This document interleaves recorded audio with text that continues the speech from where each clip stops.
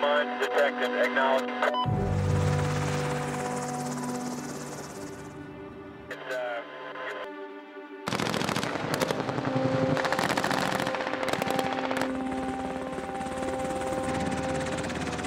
Mine detected. Acknowledge.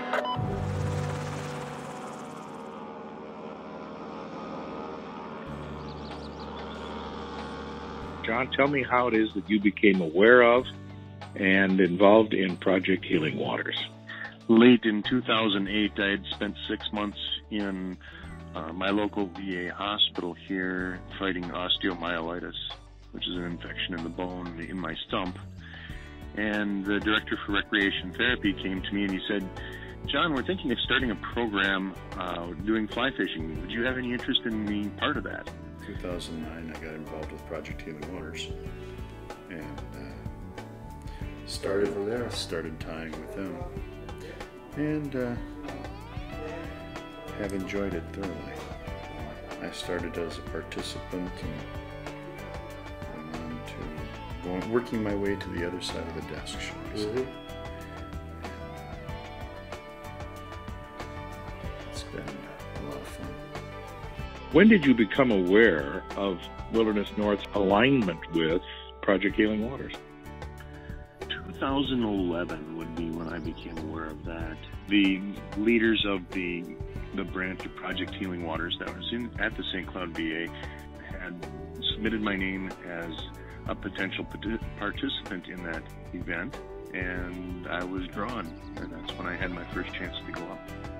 Had you ever fished the uh, Canadian wilderness prior to that?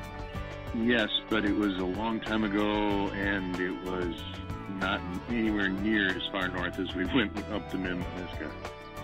Well, Miminiska isn't the end of the world, but you can see it from there, you? Uh, pretty much, but it's a wonderful place to see. Um, when you're looking at the woodland caribou, uh, the first wild critter that I really saw when I was up there was a wood, woodland caribou bull that was in full velvet and with a wonderful huge rack.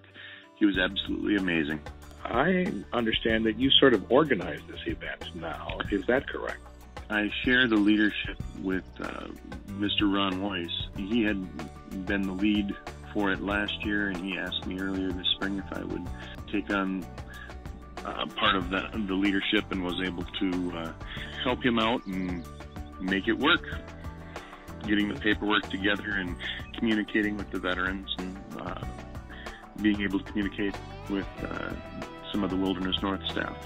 Now, tell me, how many folks were in your in your group this year? Well, we originally started with 14, but by the time everybody landed, we were down to 13. So we, but we were able to keep 13. So that's a pretty good number when you consider the number of people we're working with with different uh, medical issues. Now, were there veterans there from both Canada and the U.S.? Yes, there were there were veterans primarily from the Quebec area um, this year, but we've had them from both ends of Canada, just like they were from both ends of the United States. And when I say ends, I mean east and west coasts. Uh, we also had veterans from Montana and Wyoming and uh, Pennsylvania.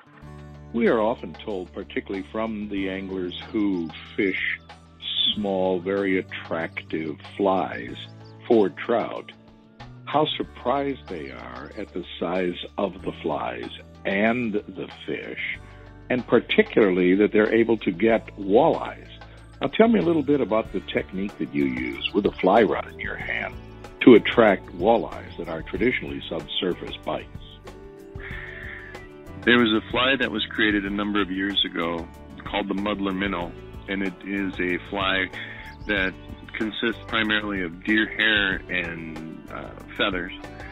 And it was designed to replicate sculpin, which are not only walleye's favorite food, but it's also brook trout favorite food. And so, because of that, I really like advocating for that fly. and uh, it produced uh, nicely up there. Speaking of good meals, I trust the shore lunch was uh, on the agenda this year.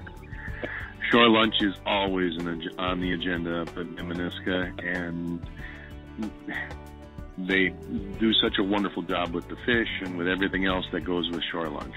You you won't find a better shore lunch anywhere.